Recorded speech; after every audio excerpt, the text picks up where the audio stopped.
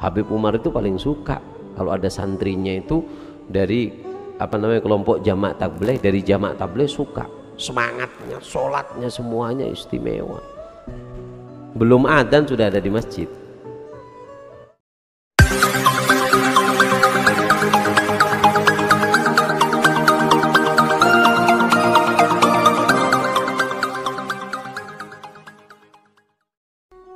Jamaah tabligh itu masya Allah ya mereka tuh sangat bersemangat.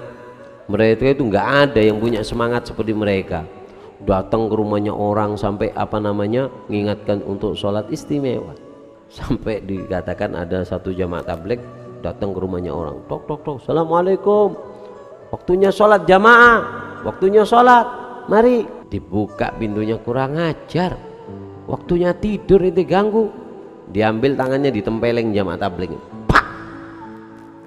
ambil ini pak ditempeling apa katanya? Jazakumullah khair terima kasih banyak. Kata yang nempeling gak waras ini. Gila ini orang. Pulang dia ke temennya. Ah ya apa? Jamaah tabligh itu kalau habis kalau habis apa namanya ngajak teman-temannya setelah sholat mereka kumpul. Apa? Eh, bagus tuh kumpul evaluasi gimana tadi baca hadis gimana tadi ada usulan Alhamdulillah saya dapat rezeki. Oh apa rezekinya? Dapat apa namanya? Kafein.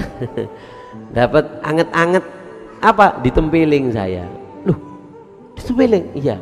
Ini nanti akan saya jadikan bukti di Rasulullah. Kalau saya ngajak umatnya saya dapat ini. Dan saya nanti akan dipanggil khusus oleh Rasulullah. Kenapa? Karena saya punya pengalaman yang unik. Sampai temennya ngomong saya juga mau di depan Rasulullah supaya dapat pengalaman unik. Sehingga apa? Si jamaah tabligh ini datang lagi ke rumah. Saya tok tok assalamualaikum. Mari sholat. Mau ditempeleng? Iya mau. Saya kepingin kayak teman saya kemarin. Akhirnya katanya nempeleng uh waras semua orang. Tutup jebrak artinya apa? Punya semangat yang sangat tinggi. Ya kalaupun ada kejelekan dari jamaah tabligh itu ya ada oknum lah. Di mana-mana ya ada oknum hmm?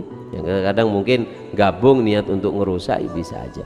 Habib Umar itu paling suka kalau ada santrinya itu dari apa namanya kelompok jamaah tabligh dari jamaah tabligh suka. Semangatnya sholatnya semuanya istimewa. Belum adzan sudah ada di masjid. Hmm? cuman di Indonesia kasihan nama jamak tablik itu kurang bagus karena beberapa orang yang gabung merusak namanya